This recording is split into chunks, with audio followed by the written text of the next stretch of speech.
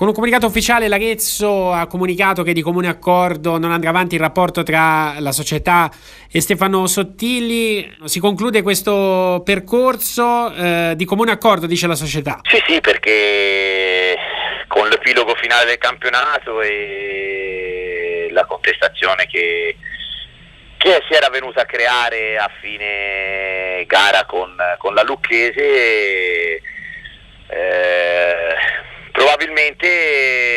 Probabilmente, perché poi dopo la, la di prova assoluta non ce n'è, sarebbe stato il caso, forse la soluzione migliore. Sei stato un anno qui ad Arezzo, eh, secondo te ecco, cosa manca in generale eh, alla, diciamo, a questa piazza ecco, per fare un ulteriore salto di qualità?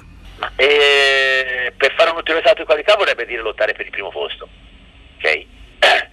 Quindi se tu vuoi alzare ancora l'asticella, eh, per alzare l'asticella vuol dire la possibilità, visto che a me era stato chiesto di stare costantemente nei primi cinque posti, bisogna rendersi conto che se vuoi lottare per il, per il primo posto eh, devi avere una disponibilità economica diversa e devi avere delle strutture diverse.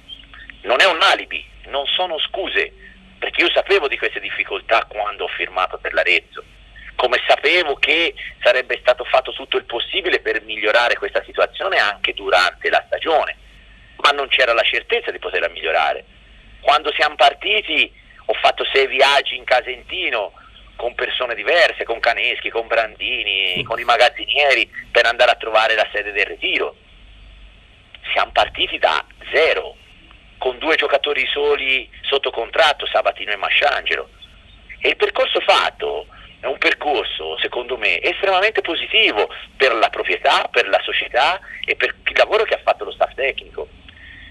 Il lavoro che ha fatto lo staff tecnico con i giocatori a disposizione, tu lo valuti in due cose, lo valuti per il risultato che è stato ottenuto, chiaramente in campionato, lascia stare la, la partita secca che poi incide, però nell'arco di 38 partite hai una valutazione più appropriata rispetto alla gara secca che ti può avvenire anche in un momento particolare della stagione e quanto hanno reso i giocatori per quello che i giocatori avevano dato nelle ultime due o tre stagioni.